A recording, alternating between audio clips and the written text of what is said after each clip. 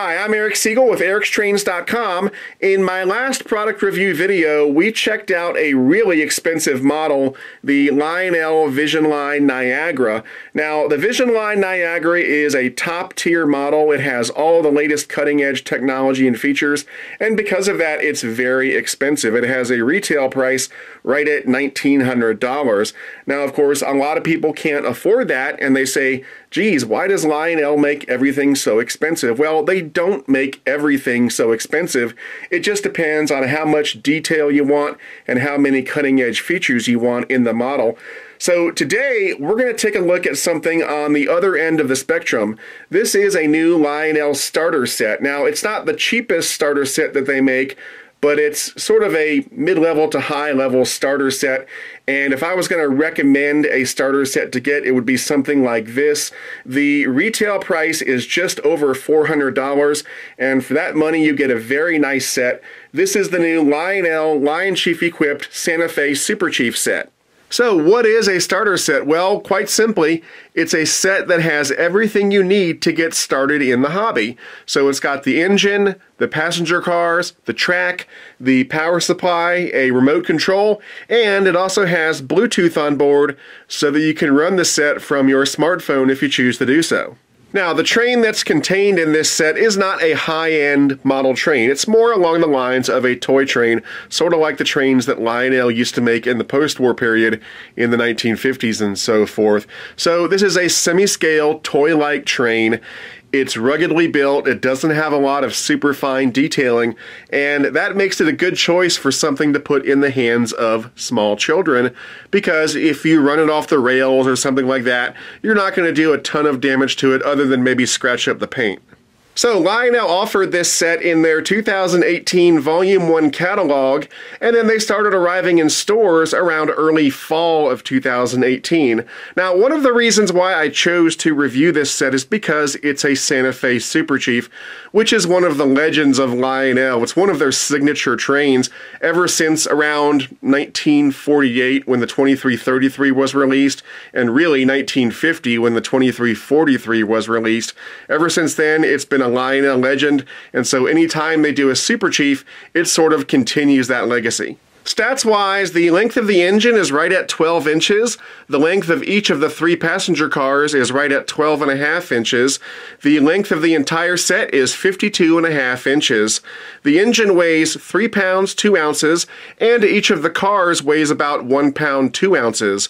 The pulling power for the engine is right at 1 pound 4 ounces, which is pretty darn good for a starter set, and the minimum curve needed to operate this set is 031. Now, even though the set harkens back to the legendary post-war Santa Fe Super Chief sets, under the hood, the engine has all of the amenities that a 21st century starter set should have.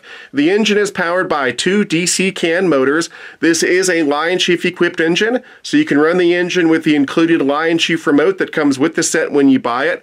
Or, because the engine does have Bluetooth on board, you can run the engine with the Lion Chief app on your smartphone or tablet. The engine comes with Lionel's Rail Sounds RC sound system. However, for you old school guys who like to run these sets without sound effects, you can disable the sound system with a switch that's on the underside of the engine. The engine features an operating directional headlight and operating couplers. The couplers are not electro couplers, but they're the traditional thumbtack style couplers. And the couplers, pilots, and trucks are all die cast metal, and the interior of the cab is lighted. As we go in for a closer look, well, this image right here is what O-gauge railroading is all about. I am sure that the front of this engine is responsible for getting legions of kids into the hobby over the years, and rightly so, because you just can't beat the look of the Super Chief. It's just so beautiful. And for a starter set, this engine is actually pretty nicely detailed. We've got some add-on grab irons on either side of the headlights. The headlights are operational, as I said earlier, and they are directional. So when you're in the forward direction, they're on, and when you back up, they automatically shut off. The paint job, as you can see, is absolutely flawless. We've got some nice molded in details. Here is the die-cast metal pilot and coupler, and as I said, the couplers are operational. We've got some lighted number boards on the sides. You'll see those better in just a moment. And then up top, we've got the iconic windows on these FTs that to me look like a pair of eyes. Around the corner, well, here's that better view of the number board. And down here, we've got die-cast metal truck side frames. There's a little metal ladder here as well. We've got some nice molded in details going down the side of the engine. The doors don't open, but this is a starter set, so that's okay but the windows do have clear plastic inserts in them. On the inside of the cab, there are two hand-painted crew figures, and as I said before, the interior of the cab is lighted. As we move on down, you can see the rest of the side of the engine. We've got these nice porthole windows, and they do have clear plastic inserts in them, which is always a nice touch. Again, the paint job is fantastic, and we've got some nice molded in details going down here as well. On the back of the engine, there's a lot of what we've already seen. Good molded in details. Another operating coupler down here. We've got a couple of metal steps, one on each corner. We've got a molded in door and a window. But unlike the other windows on this engine, this one does not have a clear plastic insert in it. The top of the engine looks fantastic, especially for a starter set. We've got a couple of add-on metal horn pieces here. Most of the rest of the details are molded in, but they still look pretty good. And then we've got these four exhaust stacks. And while this engine does not have a smoke unit on board, these exhaust stacks are hollow and they do go to the inside of the engine. And so it gives you a little bit more of a realistic look that way. Here's a look at the underside of the engine. There's a speaker for the sound system right here in the middle. We've got two power pickup rollers, one per truck. There are two traction tires on the inner axle of each truck for a total of four. And then right here is that switch that I mentioned earlier that activates or deactivates the onboard sound system. Here's what's on the inside of the engine, and as you can see, there's not a whole lot here. That's modern technology for you. Really, the two most prominent things are the two DC can motors. Everything else that runs the engine and does the sound system and so forth is right here. Now, while I've got the shell off this engine, I'm going to go ahead and give you a bit of a maintenance tutorial. What we're going to do is change one of the traction tires on the front truck because when I was testing this engine, I was running it really hard on the layout and I managed to stretch and loosen one of the traction tires on the front truck, and so it needs to be changed out. Now, changing out traction tires is not something that happens very often, but it does happen from time to time, and so for that reason there's a package of spare traction tires included with the set when you buy it, and in fact most O-scale engines come with spare traction tires when you buy them for just this reason. And so what we're going to do is change out one of these traction tires. Now on most Lionel models and most other models for that matter, you normally don't have to take off the shell to change a tire, but on this starter set engine you have to, and so I've got the shell off, so we're going to go ahead and do it. So what I'm going to do is loosen up a screw on the underside of the truck to detach the truck from the motor, and then that'll give us access to the top of these side frames, and then we can detach this side frame and get access to the traction tire. All right, so the screw we're going to remove is right there in the middle of the truck. So we'll go ahead and get that out. And when we get that screw out, it's going to detach the motor from the truck like that. And we'll just kind of set it like that. And now we're going to detach this side frame. And that is done by loosening these two screws right here. And this Procedure will differ depending on the model you have, of course, but on this particular one, this is how it's done. Like I said, on most Lionel models, you don't have to open up the engine to change a tire, but on this one, for whatever reason, they put these screws facing up, and so to get access to them, you have to detach the entire truck. Most of the time, they have the screws on the bottom facing down, so you can access them from the underside of the engine. Anyway, now we've got access to this wheel and the traction tire that's around it. Now, sometimes when you have to replace a traction tire, it's because the tire broke and fell off completely, but in this case, it's just really loose, and so when I go to remove this traction tire, you're going to notice that it pops right off the wheel really easily. That's not normal. It's not supposed to do that. Normally these tires are on here very tightly. The reason it's so loose is because, like I said, I ran this engine really hard when I was testing it and that loosened up one of these tires. So what we'll do is we'll take this loose tire and throw it away. It's no good. And now, packaged with the set, is this little baggie of spare traction tires. So we'll go ahead and take one out and we'll pop it on the wheel and then we'll be all set. Here's the new traction tire. And by the way, just for comparison, here's the old tire, here's the new one. See the difference? This one's small and tight like it should be.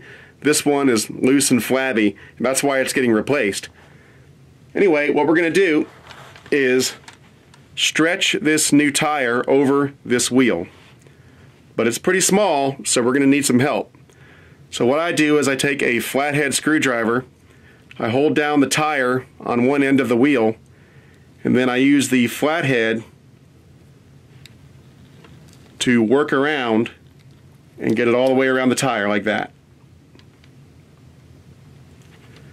And just make sure that it's even all the way around, and it is. And there we go. And now we've got that new tire on the truck, and this wheel is going to be much happier when it's running on the layout. So now all we have to do is put this thing back together, and we'll be all done.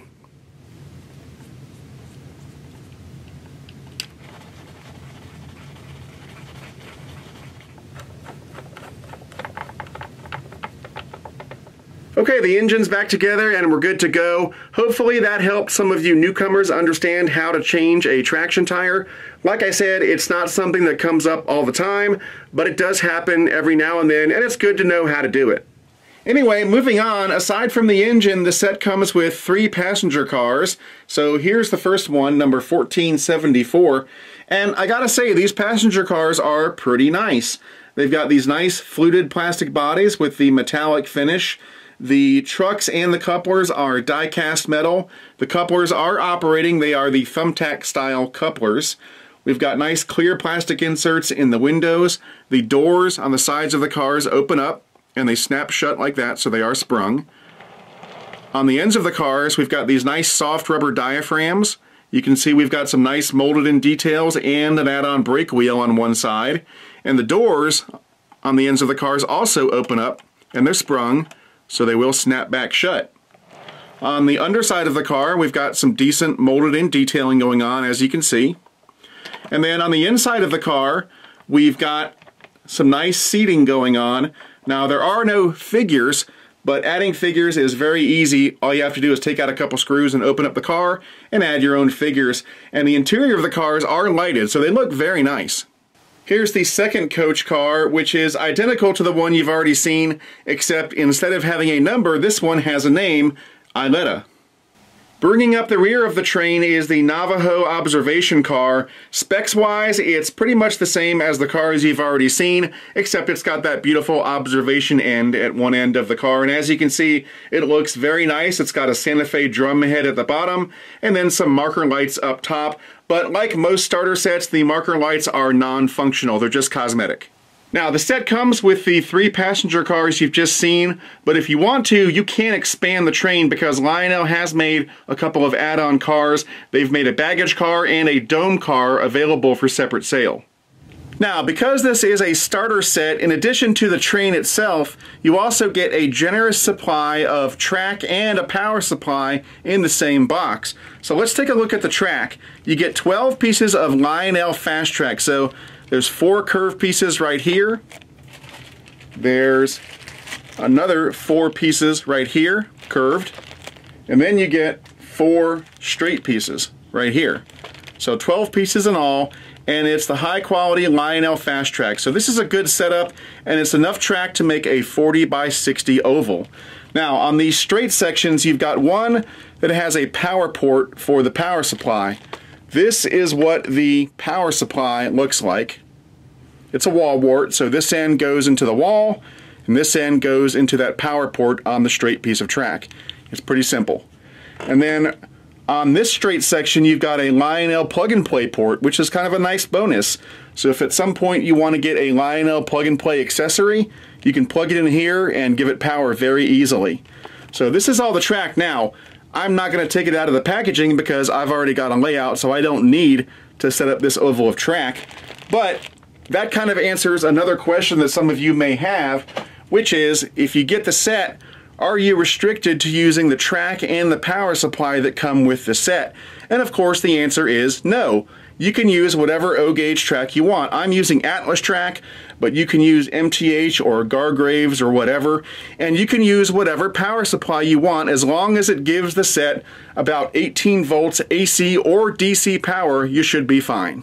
Alright, so now I'm going to start this thing up and demonstrate the controls and the sounds and the features and so forth, and then we'll wrap things up by running this set around the layout for a few minutes. Now, as I said before, there are a couple ways you can run this set. You can use the Lion Chief remote that comes with the set when you buy it, or you can run this set via the Lion Chief app on your smartphone, and that's because this set has Bluetooth on board. We'll start off with the easiest method, which is to use the Lion Chief remote. Using the Lion Chief remote is incredibly easy. Let me go ahead and put some power on the track.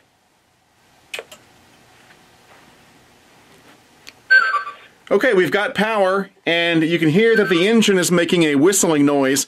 That whistling noise means that it's got power and it is looking for a signal from the Lion Chief remote. So let's go ahead and turn on the Lion Chief remote. It's got a signal and that causes the engine to start up and we're good to go. Couldn't be easier. So we've got forward, reverse, horn, bell, and crew talk. Very easy. So if I scroll it forward, We move forward, bring it back to center, move it back, and we move backwards. Here's the horn. And here's the bell. And here are the crew talk sounds. And to it. Like I said, it couldn't be easier. The alternative to the Lion Chief remote is to use the set's built-in Bluetooth connectivity to run the set from your smartphone or tablet using the Lionel Lion Chief app. So let me go ahead and put power on the track once again. Okay, we've got power, and once again the engine is making that whistling noise, which means it's looking for a signal. So here's my smartphone. This is an iPhone 7 Plus. And I'm going to go ahead and open the Lionel Lion Chief app. It's a free app that you can get on the App Store. And look at that. It already found the engine. If I click on the engine icon, you can see it says diesel locomotive. It's already connected. So, here is the horn. Here's the bell. Here are the crew talk sounds. Welcome aboard the Santa Fe Super Chief. These are the buttons to throw the couplers. If this was a Lion Chief Plus engine, we could do that, but this particular engine, since it's with a starter set, doesn't have the automated couplers. We've got a sound menu, and from there we can adjust the volume on the horn and the bell and the crew talk and so forth. This is pretty cool. Right here, we can adjust the pitch of the horn and the bell. So watch this. So now, it's got a lower pitch. How cool is that? And we can raise it up.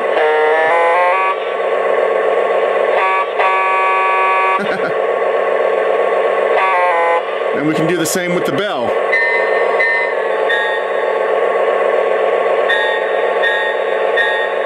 Cool.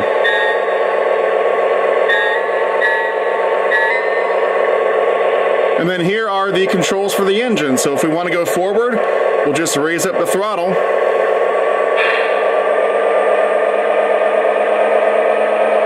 And there it goes. Change directions. And now we'll go backwards.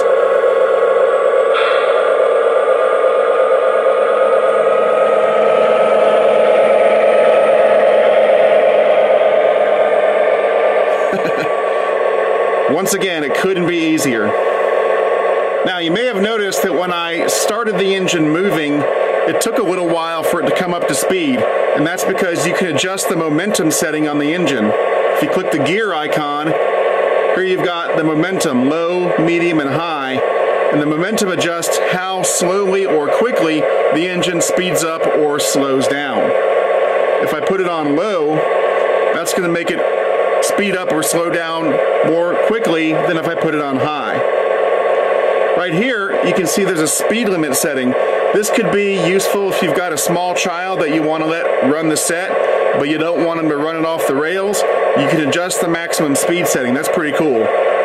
Here's the smoke setting, but again, since this is a starter engine, it doesn't have a smoke unit, so that is grayed out.